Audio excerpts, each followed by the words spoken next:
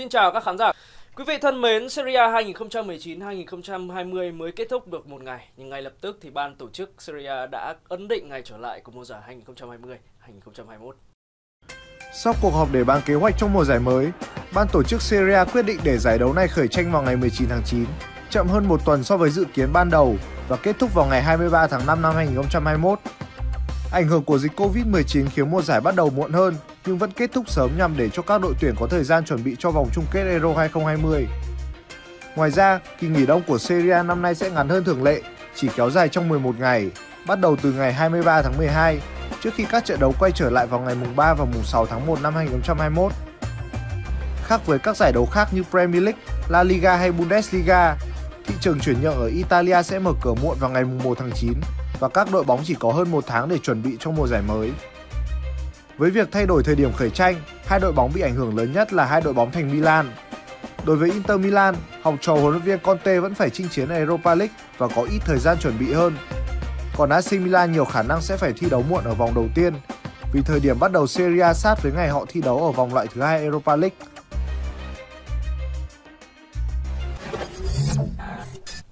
Quý vị thân mến, trận chung kết playoff thăng hạng ngoại hạng Anh luôn được mệnh danh là trận chung kết đắt đỏ nhất thế giới.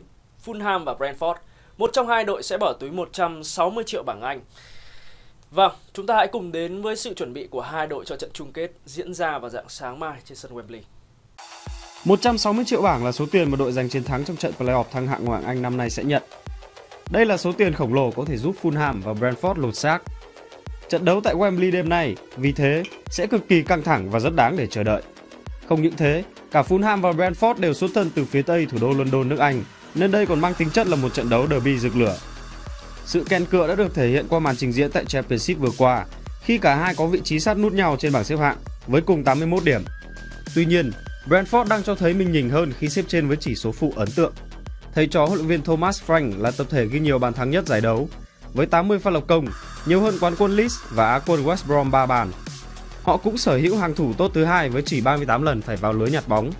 Trong khi đó, Fulham lại là cái tên quen mặt hơn với đấu trường Premier League và chắc chắn họ mang trong mình ADN để chiến đấu trong những trận đấu căng thẳng kiểu như thế này. Ngồi trên băng ghế huấn luyện của đội chủ sân Craven Cottage cũng là một cái tên đã quen với khói xương ngoại Anh, đó là Scott Parker. Fulham đang lép vế hơn đối thủ ở thành tích đối đầu mùa này khi họ để thua cả hai lượt trận đi và về. Tuy nhiên, đó chỉ là thông tin mang tính tham khảo bởi tính chất của trận đấu tại Wembley sẽ rất khác. Trận chung kết sẽ chỉ có một lượt duy nhất, vì thế không có cơ hội sửa sai cho kẻ chiến bại. Brentford cần hai lượt trận để vượt qua Swansea ở bán kết khi có màn lội ngược dòng ngoạn mục của trận lượt về. Còn với Fulham, họ đã thể hiện bản lĩnh tuyệt vời trước Cardiff City. Huấn luyện viên Thomas Frank khẳng định Brentford của ông không gặp ca chấn thương đáng tiếc nào và sẽ ra sân với đội hình mạnh nhất. Trong khi đó, Fulham chào đón sự trở lại của chân sút tốt nhất Mitrovic. Tiền đạo ghi 26 bàn mùa này đã phải vắng mặt ở hai lượt trận gặp Cardiff City. Trận derby Tây London tại Wembley sẽ diễn ra lúc 1 giờ 45 đêm nay theo giờ Việt Nam. 160 triệu bảng sẽ về tay ai? Chúng ta hãy cùng chờ xem.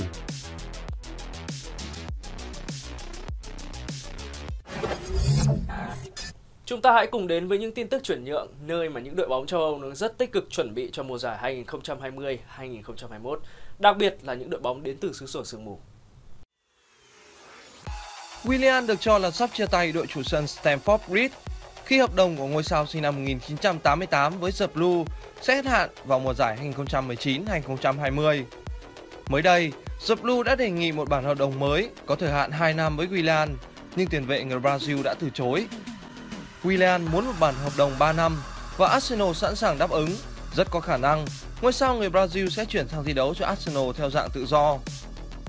Willian được cho là sẽ công bố quyết định của mình sau khi Chelsea kết thúc hành trình tại UEFA Champions League. Mùa này, Willian vẫn đạt phong độ cao khi ra sân tới 47 trận cho Chelsea trên mọi mặt trận và ghi 11 bàn, thực hiện 9 pha kiến tạo, được coi là một trong những cầu thủ hay nhất mùa giải của The Blue.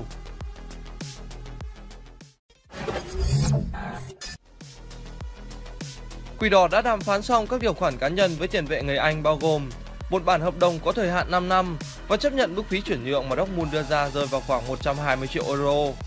Hiện tại, Manu chỉ còn thỏa thuận với Dortmund về việc sẽ trả mức phí chuyển nhượng này ra sao.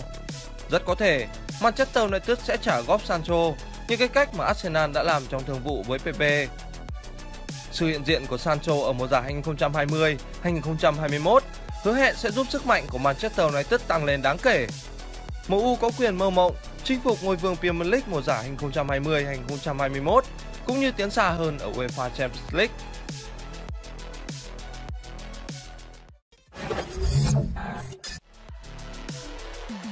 Manchester United đã đạt được thỏa thuận bán tiền đạo Alexis Sanchez cho Inter Milan với mức giá 15 triệu euro. Theo đó, Sanchez sẽ ký vào bản hợp đồng có giao kèo thời hạn 3 năm với Inter Milan. Bản thân Sanchez đã quyết định giảm lương để chơi bóng lâu dài tại Italia. Anh sẽ nhận 280.000 bảng mỗi tuần ở Inter Milan. Đội bóng thành Milan được dự đoán sẽ công bố thương vụ Sanchez sau trận gặp Getafe tại Europa League vào giữa tuần này.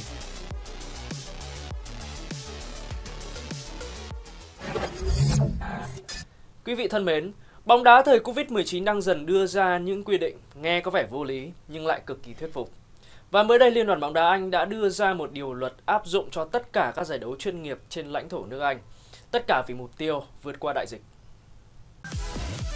Liên đoàn bóng đá Anh FA sẽ bổ sung thêm một số quy định mới vào bộ quy tắc kỷ luật ở Premier League nói riêng và bóng đá Anh nói chung trong mùa giải 2020-2021. Từ mùa giải tới, các cầu thủ sẽ bị phạt thẻ đỏ và truất quyền thi đấu nếu cố ý ho vào mặt bất kỳ ai trên sân. Thậm chí, các cầu thủ có thể bị coi là tội phạm và bị cảnh sát truy cứu trách nhiệm. FA áp dụng hình phạt mới nói trên xuất phát từ tình hình dịch Covid-19 ngày càng diễn biến phức tạp và khó lường ở xứ sở sương mù cũng như trên thế giới. Quy định này sẽ được áp dụng ở tất cả các giải đấu trên lãnh thổ nước Anh. Bây giờ, muốn ho cũng phải chọn chỗ mà ho. Nhớ ho bừa rồi bất ngờ nhận ra mình đang đứng cạnh một ông nào đấy thì ăn thẻ đỏ như chơi. Thôi tốt nhất cứ nhịn rồi về nhà mà ho các ông nhé. Quý vị thân mến, Champions League sắp quay trở lại sau một thời gian tạm hoãn vì dịch bệnh Covid-19. Và chúng ta hãy cùng hâm nóng bầu không khí của giải đấu danh giá bậc nhất châu Âu với phát biểu sau của một huấn luyện viên gạo cội. Vị cựu thuyền trưởng của Arsenal, Arsene Wenger đánh giá cao khả năng lên ngôi vô địch châu Âu của hai gã nhà giàu là Manchester City và Paris Saint-Germain. Ông cho rằng đây là hai cái tên sở hữu một đội hình có đủ độ chín sau nhiều nỗ lực nâng cấp và lắp ghép. Với tôi, Manchester City và Paris Saint-Germain vẫn là những ứng viên hàng đầu cho ngôi vô địch Champions League nếu nhìn vào tiềm năng của họ. Tôi có cảm giác Paris Saint-Germain thậm chí còn yếu hơn so với chính họ ở 3 đến 4 năm trước, nhưng sự hòa hợp và ăn ý của đội hình lại được cải thiện. Vì thế mức độ cạnh tranh tại châu Âu cũng tăng lên. Các đội tham dự Champions League thời gian gần đây có sự suy giảm nhất định, nên tôi vẫn chọn PSG là một trong hai đội mạnh nhất. Phát biểu này của huấn luyện viên người Pháp hẳn khiến các cổ động viên của PSG cảm thấy phấn khởi. Trước đây, đội chủ sân công viên các hoàng tử luôn bị đánh giá là khôn nhà dại trợ khi thường xuyên bị loại sớm trước vòng bán kết. Cả Manchester City và Paris Saint-Germain đều đang sở hữu lợi thế lớn trước thềm giải đấu trở lại. The Citizen đã giành chiến thắng trước Real Madrid ở trận lượt đi vòng 16 đội ngay trên sân khách. Còn đội bóng nước Pháp đã loại Dortmund để tiến vào tứ kết. Thầy trò huấn luyện viên Thomas Tuchel còn có khá nhiều thời gian nghỉ ngơi do Ligue 1 đã kết thúc sớm.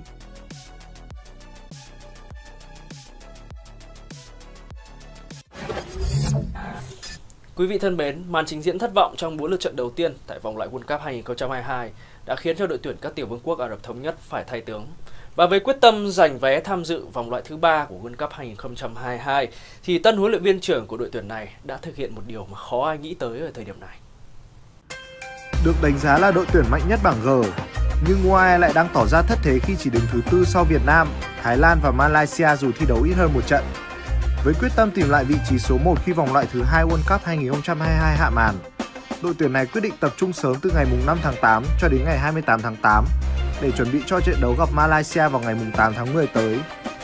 Trong danh sách triệu tập đợt này của đội tuyển UAE, huấn luyện viên Pinto đã triệu tập tiền đạo nhập tịch gốc Brazil Fabio de Lima. Tuy nhiên, UAE sẽ không có được sự phục vụ của chân sút gốc Brazil khác là Caio Canedo vì nhiễm Covid-19. UAE cũng lên kế hoạch thi đấu giao hữu với Jordan và Tajikistan vào tháng tới. Sự chuẩn bị kỹ lưỡng của UAE là thông điệp mạnh mẽ của đội tuyển này muốn gửi tới các đối thủ, trong đó có đội tuyển Việt Nam, khi chúng ta sẽ có trận làm khách trên sân UAE vào ngày 17 tháng 11 tới.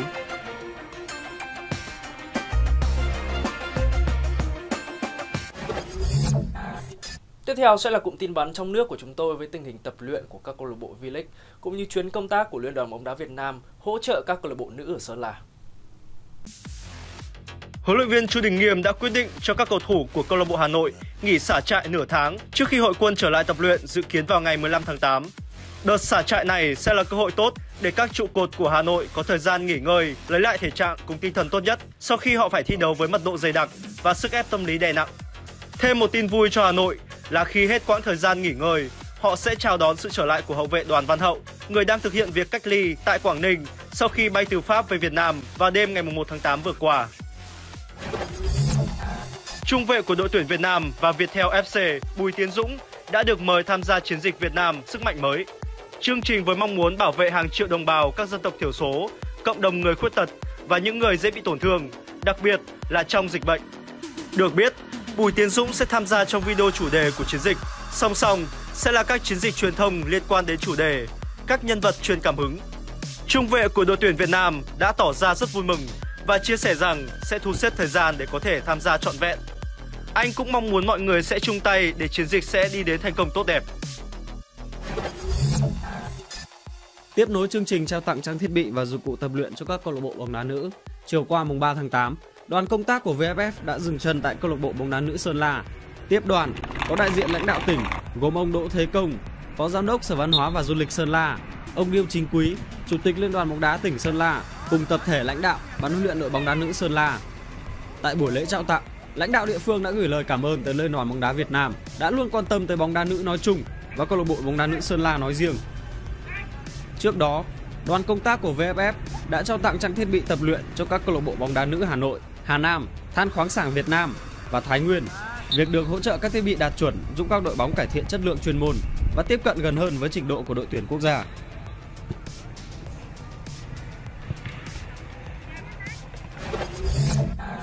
Chiều nay, trên trang chủ câu lạc bộ Thành phố Hồ Chí Minh thông báo ký hợp đồng với hai chân sút đến từ Costa Rica là Joe Otis và Ariel Rodriguez. Thời hạn bản hợp đồng và mức lương chưa được tiết lộ. Dự kiến, bộ đôi Costa Rica sẽ có buổi tập cùng câu lạc bộ vào thứ hai tuần sau. Ariel Rodriguez sinh năm 1989 tại San Jose, cao 1m76 và chơi ở vị trí tiền đạo cắm hoặc có thể đá dạt biên. Điểm mạnh của Ariel Rodriguez chính là khả năng tốc độ và xử lý bóng kỹ thuật. Anh từng có 3 mùa giải chinh chiến ở Thái League 1 và từng 3 lần khoác áo đội tuyển quốc gia Costa Rica. Ro Otis, sinh năm 1992, thuộc biên chế của câu lạc bộ Herediano của Costa Rica. Cầu thủ này cũng chơi ở vị trí tiền đạo. Anh từng được gọi 13 lần lên tuyển và đã ghi được hai bàn thắng. Đặc biệt, tiền đạo này cao tới 1m80. Đây là động thái cho thấy đội chủ sân thống nhất đang mạnh tay mua sắm để mang về những yếu tố chất lượng và đầy hứa hẹn nhằm thực hiện giấc mơ vô địch LSV League 2020.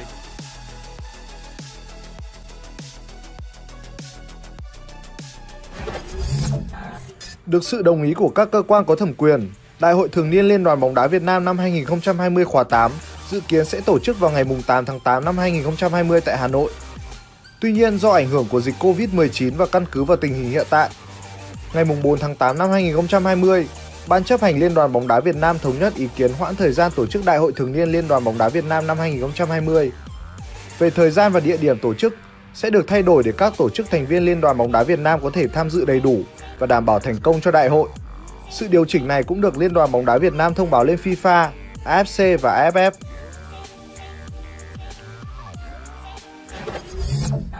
Phần tin vừa rồi cũng đã kết thúc bản tin của chúng tôi ngày hôm nay. Cảm ơn quý vị và các bạn đã chú ý theo dõi. Xin chào và hẹn gặp lại quý vị và các bạn.